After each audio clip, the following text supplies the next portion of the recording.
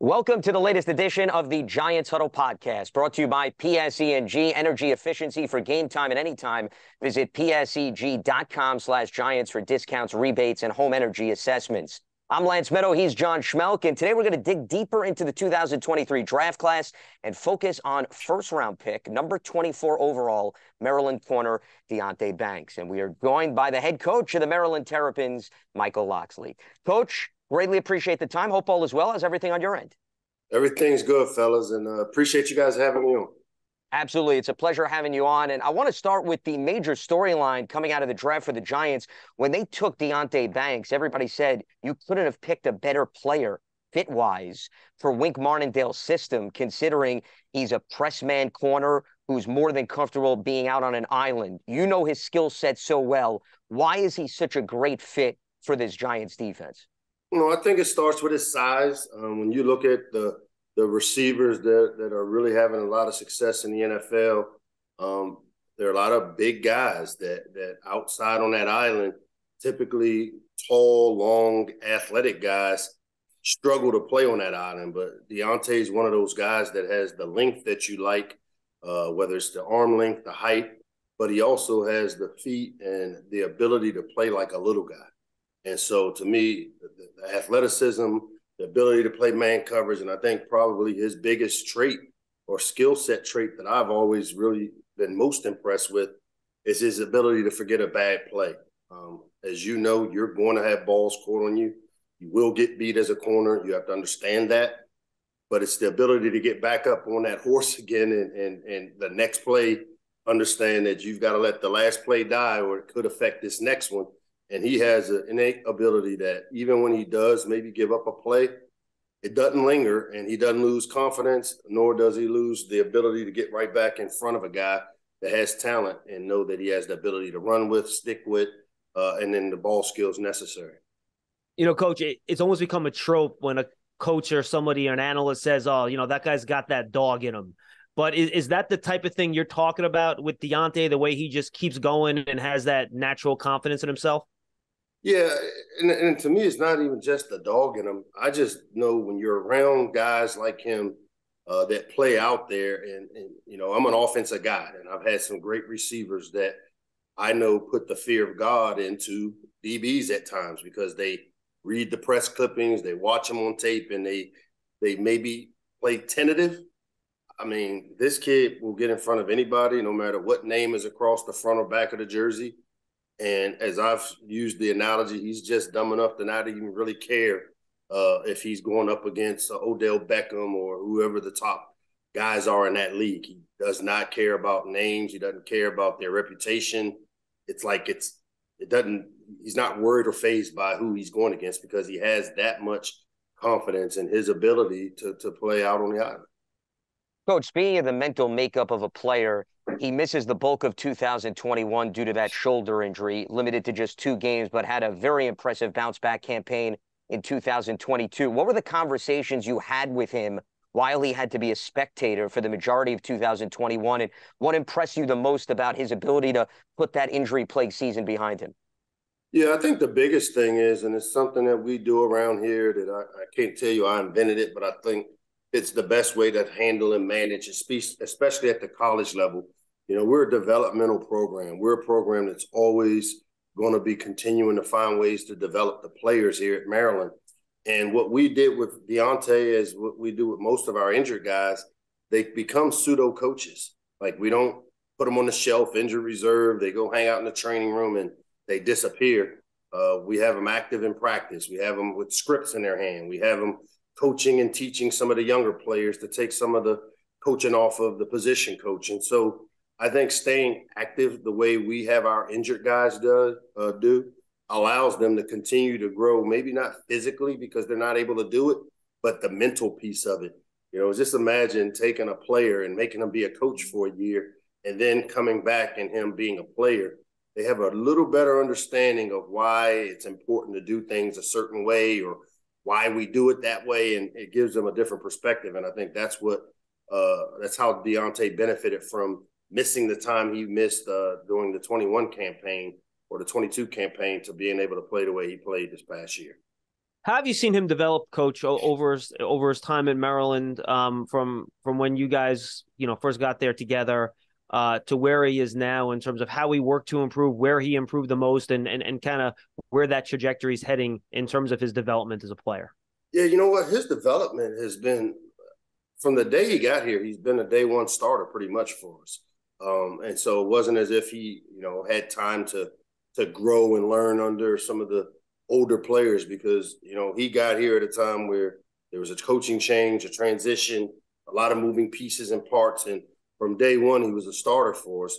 I think the biggest area where I've seen him improve the most is just you know we talk about being a pro, and a lot of guys wait until they're in the NFL until they understand the importance of sleep, hydration, recovery, yeah, um, eating the right way nutritionally uh, Tay has been one of those guys that embraced that lifestyle very early because of the de- desire he had to want to be the best, and it, it, it's really paid off for him.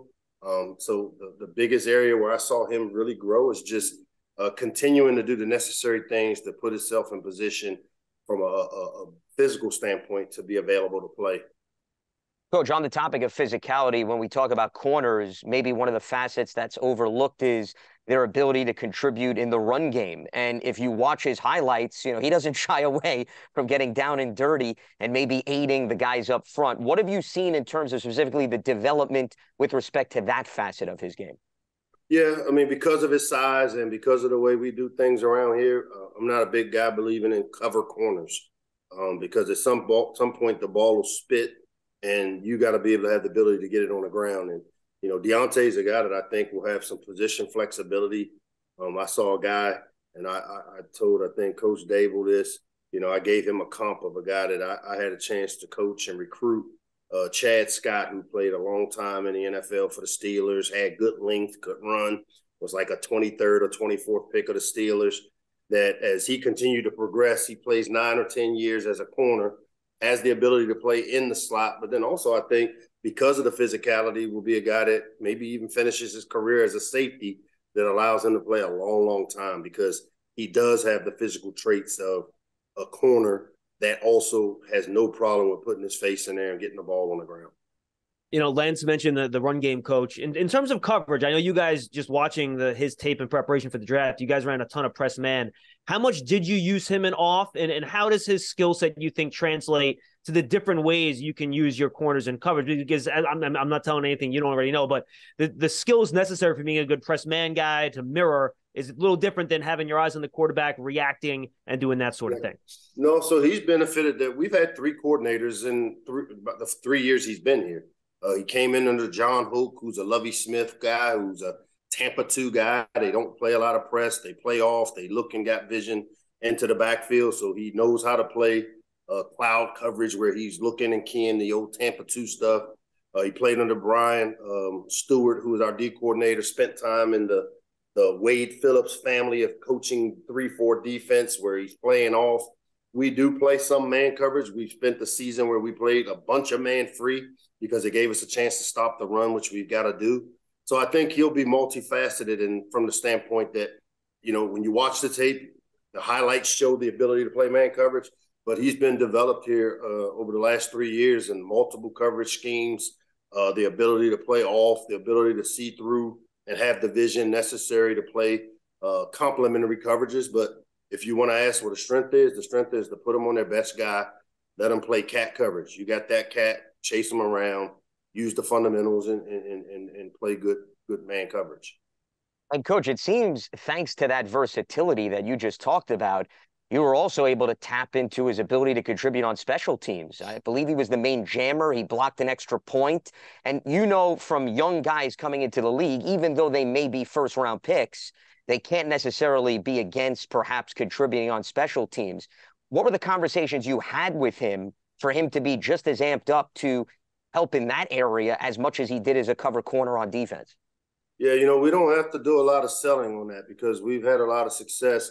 When you look at the players that have come out of our program, our tight end Chig Chickasema down in uh, Tennessee, who had a great rookie campaign and was on every special teams. And so our guys understand the value of what playing special teams can do for you in terms of the next level. And so he was one of those guys that always embraced it.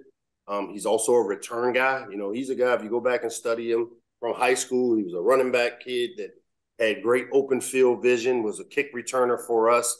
Um, I didn't put him back there a bunch, but he got a lot of work at it. So there are some some hidden special teams values because he he is a guy that you know once he gets his hands on some balls, he becomes a natural uh, instinct runner that allows him to maybe make plays.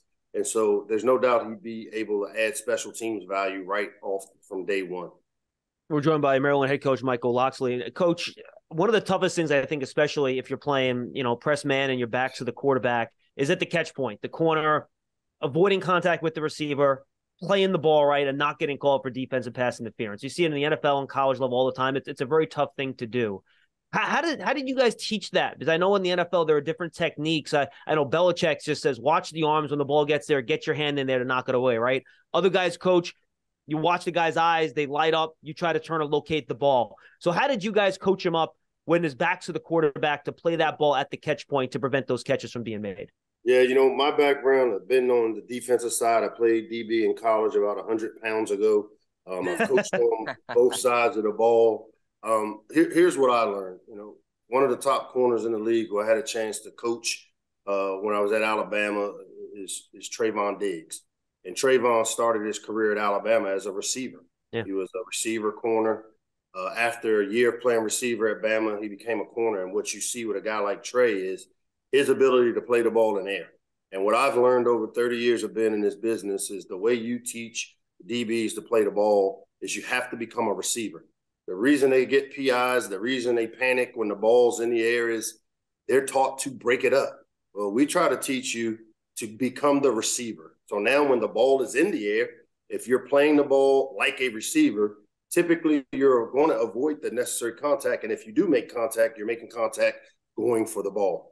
Uh, we did that with JB, uh, Jakorian Bennett, his his other corner who got drafted uh, by the Raiders, where we spent most of last spring. I had him run routes like a receiver. I had him after practice become a receiver. I had him, you know, with our quarterback run post routes, run corner routes, and get a feel for how to become a receiver when the ball's in the air. And so, because of Deonte's uh, skill set as an offensive player in high school. I think he has a little more ball skills than the typical guy that has played corner his whole life and all he's been taught is break the ball, break the ball up, play the hands, play the eyes. No, turn, locate the ball, and become a receiver is kind of what we tried to teach. Coach, when he recently met with the media, one of the games that came up in the conversation that truly highlighted his versatility and his strong play was the Ohio State game this past season in November when he got matched up with Marvin Harrison Jr. and really did a good job containing him. How much, when you look back, was that Ohio State game really a national statement for him that really helped up his profile? Yeah, maybe that's what you guys look at is the, the, the up the profile deal what I've looked at is the long term uh, ability he's shown that when he's playing man coverage, and this league has had a bunch of good receivers. Uh, every day he went against some of the top receivers in our conference with, you know, Rakim Jarrett and Dontay Demus prior to his injury and Jacob Copeland. And so the old adage of iron sharpening iron has prepared prepared prepared him for matchups like Marvin Harrison Jr. So um, I'd say maybe because of the, the, the notoriety that Marvin had or has as one of the top receivers, possibly that that's one of the matchups that we, people look for to see how he competed. But if you turn on the tape, he he competes like that against whether it's Marvin Harrison or uh, whether it's a, a, someone from the school of Sisters of the Poor. He's going to compete. what kind of guy are the Giants getting, Coach? You kind of talked about it in, in, your first couple answers, but in terms of off the field, locker room presence, you know, type of guy, how he interacts with the coaches, uh, what kind of insight can you give us to his personality off the field in terms of the the type of guy he is and and what he'll bring to the locker room and New York City becoming part of the community up here? Yeah, the interesting thing is I've spent the last three days sitting and doing end of year evaluations with current players, and one of the things that I've used as a, a analogy for our current players is not one time did I have to deal with Deonte Banks in anything off the field, going to class, living the right way, the right kind of lifestyle off the field, leadership in the locker room. I mean, here's a kid that's getting drafted in, in the first round, a 24 pick, and he's down in study hall two days ago working on finishing his degree because he's going to graduate in the next two weeks here oh, from That's Maryland. great. When nice. most guys trick off their spring semester, have six hours, 12 hours to finish, and they wait, wait, wait until their career's done to finish it. I mean, that's who Deonte is. And so he'll be a great locker room addition. I'll tell you this for you media people, he's not a great interview. He, you know, he's a man of very few words. We've seen that already, Coach. Yeah, we have seen that. Yep. It doesn't have the comfort level of wanting to sit and talk about himself. But if you catch him in the locker room, he's the life of the party, the life of the locker room. He's goofy as all get out, and and and it's a good trait to have because he has been a great teammate here and played a major, major role in the resurgence of what Maryland's been able to do the last couple of years. Yeah, he lets his game do the talking, which is probably a good thing when it comes to the NFL coaches. You can attest to. Speaking of learning more about character and relationships, something that you can attest to from being in the coaching field so long. You coincidentally were on the Alabama staff with Brian Daboll in 2017 when you both won a national championship. You alluded to earlier conversations you had. How much does it help that Daboll can lean on you when he's trying to get more intel on a player like Deonte Banks, and the fact that you already had an established relationship to share intel and help better indicate what the trajectory of a player is going to be on the NFL level. Yeah, I think obviously the big thing is is people understand that when you come to Maryland to evaluate our players, uh, number one, we give we give total complete access to every NFL team. We don't have closed practices. The NFL teams I know the Giant scouts and all the powers that be that make these decisions had spent quite a bit of time down here in College Park evaluating the prospects we had in this year's draft. Now, the fact that Dabes and I have a, a relationship obviously allows the, the information flow to be truthful and honest because I want to see Brian Daboll have success. And the last thing I would want to do is put a player in position that can't come up there to help him reach the goals of winning the Super Bowl. And so um, being in the professional way I have, I think the reputation of knowing one that if they're in my program, they're most likely going to be good kids because if they're not, they're not going to be around here. And so I think Dabes appreciates that, but he also knows that the same system and the way he kind of does things is how I was brought up in this business, and, and that the players that come out of Maryland will be smart, tough, and reliable. And, and that's what guys want if you're going to put the type of money that they're putting into some of these players. All right, coach. Final one for me, and this is kind of more of a, uh, a general thing because you've been at this a while. You're very familiar with college and the NFL. How have you seen the relationship in terms of college players transitioning to the NFL change over the years? Because it seems, especially in terms of the passing games, that the styles have become much more similar over the years. Are you seeing just the NFL adopting more collegiate stuff, or, or, do you disagree with that analysis that the transition seems a little bit easier now than it was before because of how the games have become a little bit more similar?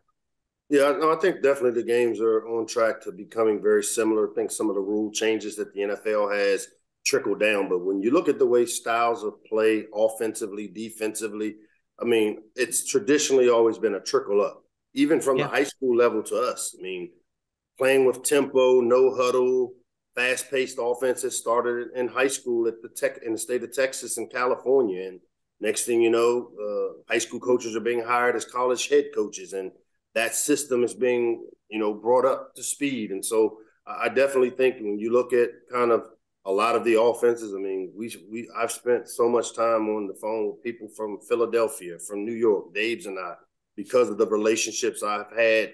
I've talked to the dolphins. Everybody kind of wants to know what things these guys can do or should do or and so i do think there has been a lot more um, kind of collaboration between NFL and college coaches because if you look at the style of quarterbacks, the style of play that these guys are playing in, the day of the drop back statue in the backfield where you know you just stand back there and throw it 50 times, those days are are, are starting to become slim and none. And the athletic quarterback, the guy that has the ability to extend plays with his feet, arm, um, is kind of becoming the new wave. But as we know, it all always cyclical, and that it somehow will eventually turn back. But as of right now, there's definitely a trickle up philosophy when you look at the styles of offenses and defenses that are being played. Coach, before we let you go, I find it always interesting to get the perspective of a coach who was within the same conference of another player the Giants selected. And coincidentally, you played Minnesota three of the last four years. And I'm not trying to pour salt into your wounds in terms of what happened in those individual matchups, but you got a close look, I'm assuming, of John Michael Schmitz. We won one game. Center. We won one game. So there you go. That was, I believe, the 45-44 overtime affair, if I believe. So wanted to make sure we gave you credit for that. But you did get a close look at John Michael Schmitz, and he was the Giants' second round pick and what he did for that Minnesota run game. Just curious from the opposing sideline what you saw out of him as you scouted him. A, a, low center of gravity guy, knowing how Dabes loves to to run the football. He always talks about power and controlling the A and B gaps, and you know this guy is one of the best in in the country at the run game stuff. And and the way Minnesota ran the ball and the success they've had, a lot of it ran through him and through this guy and his ability. So you're getting, you know, the Big Ten. When you want O lineman, you you look to the Big Ten, and this league has had a lot of really talented O linemen come out of it, and the kid you guys drafted is one of the best that have been in there the last couple of years since I've been back in the league.